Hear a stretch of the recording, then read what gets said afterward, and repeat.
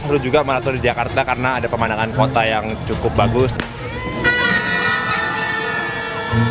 Ya Jakarta harus ada momen-momen tertentu untuk bisa menikmati dengan senang kota Jakarta juga bersama keluarga sehingga semuanya bisa menikmati ikon-ikon Jakarta.